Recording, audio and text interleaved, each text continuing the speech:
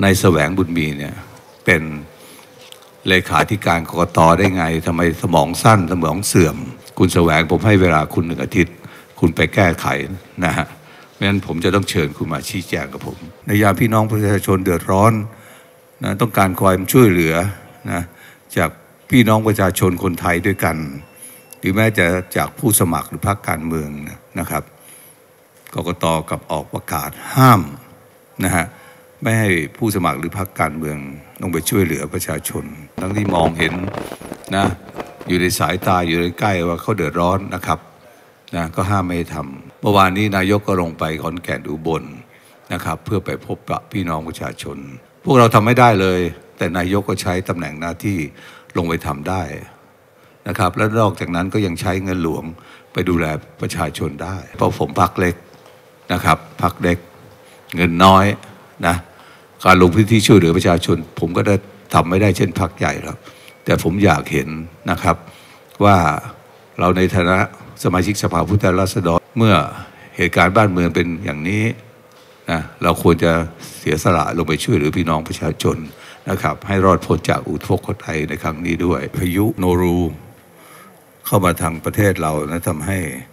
เกิดอุทัยต่างๆ ทั่วประเทศ น้ำท่วมพี่น้องประชาชน เดือดร้อนกกตก็ยังกล้าประกาศออกมาอย่างนี้อีกห้าม ห้ามสู่ผู้สมัครและพรรคการเมืองนะไม่สามารถมอบสิ่งของช่วยเหลือประชาชนกกตซึ่งมาจากทางการเมืองเนี่ยนะวางตัวไม่เป็นกลาง ออกประกาศก็เอารับเอาเปรียบนะพรรคการเมืองฝ่ายค้านในขณะเดียวกันกกตกับเอื้อประโยชน์ให้ทางรัฐบาล เอื้อยังไงครับ ก็ประกาศว่าผู้ดำรงตำแหน่งทางการเมือง ก็คือฝ่ายรัฐบาลเนี่ยนายกรัฐมนตรีรัฐมนตรีอะไรต่างๆ สามารถปฏิบัติหน้าที่ได้ตามปกติ ถ้าเลขากกตไม่ยอมแก้ไขนะระเบียบคำสั่งนี้ภายในหนึ่งอาทิตย์นะครับ อาทิตย์ต่อไปผมจะเสนอเรื่องนี้เข้าที่ประชุมคณะกรรมาธิการป้องกันปราบปรามการทุจริต เพื่อตรวจสอบนะประกาศคำนี้ ดูเบื้องต้นนะเป็นการเอื้อประโยชน์ให้แก่นะนักการเมืองฝ่ายรัฐบาล แต่ในขณะเดียวกันก็ปิดกั้นนะครับฝ่ายค้านวันนี้สิ่งที่น่าเศร้าคือรายงานข่าวเรื่องการแก้ไขปัญหาประชาชนแทบไม่มีออกมาจากการประชุมครมเลย ส่วนใหญ่เป็นปฏิกิริยาต่อเนื่องจากการที่คุณเนวินชิดชอบ และคุณอนุทินนั้น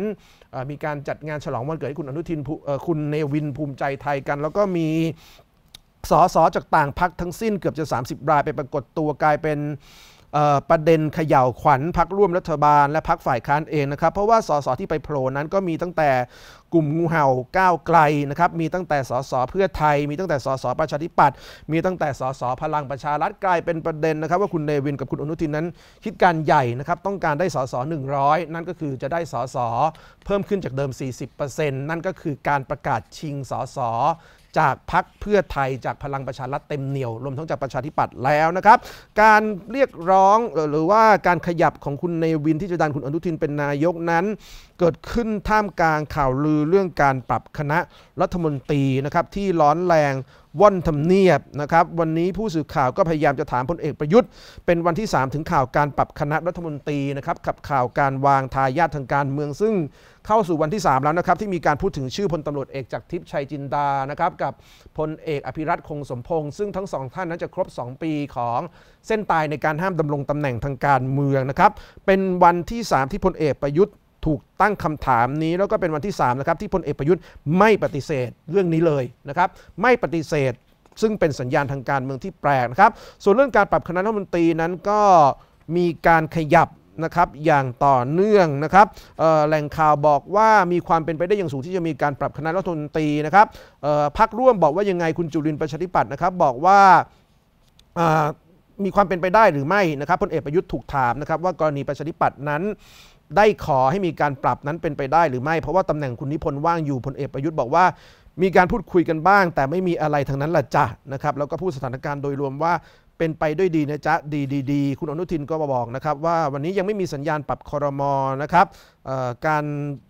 เปิดตัวคุณเนวินนั้นไม่มีนัยยะทางการเมืองอะไรนะครับพักภูมิใจไทยยังไม่ได้คิดถึงเรื่อง 120 เก้าอี้สสว่าจะทำให้เป็นนายกรัฐมนตรีในสมัยหน้าได้หรือไม่นะครับ แต่ว่าดูเหมือนปฏิกิริยาเรื่องนี้ลามไปทั่วไม่ว่าจะเป็นเพื่อไทยนะครับ ประชาธิปัตย์ภูมิใจไทย พลังประชารัฐนะครับ จากกรณีคุณเนวิน พลังประชารัฐรัฐมนตรีช่วยคลังนะครับ คุณสันติซึ่งเป็นเลขาพักก็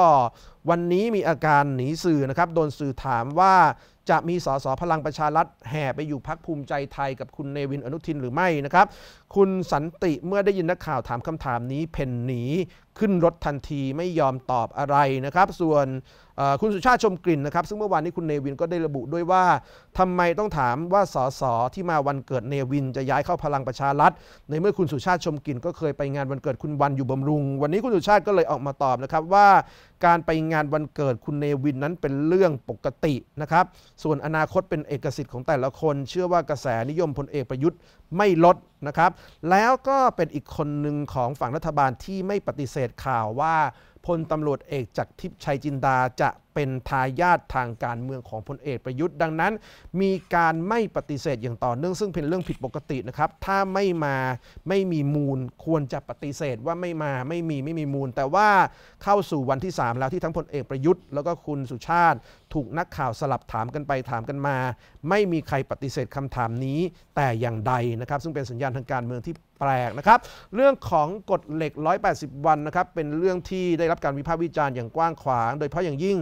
จากฝั่งพรรคเพื่อไทยนะครับ ซึ่งที่ผ่านมานั้นก็มีการลงพื้นที่อย่างต่อเนื่อง แล้วต้องยอมรับว่าเพื่อไทยเป็นพรรคใหญ่นะครับ เพื่อไทยเป็นพรรคที่มีกำลังทุนกำลังทรัพย์ในการทำงานที่แข็งแกร่งนะครับ แล้วก็คุณหมอชนน่านหรือคุณประเสริฐเองก็ออกมาเปิดประเด็นนะครับว่า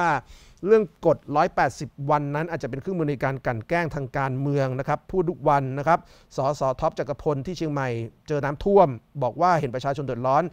ช่วยไม่ได้เศร้าใจจริงๆนะครับวันนี้นะครับเพื่อไทยก็มีการจัดสัมมนาจัดเสวนาเรื่องนี้อีกนะครับ แต่ว่ามีความเคลื่อนไหวที่น่าสนใจนะครับ นั่นก็คือมีการออกมาแสดงความเห็นของพลตำรวจเอกเสรีพิสุทธิ์นะครับซึ่ง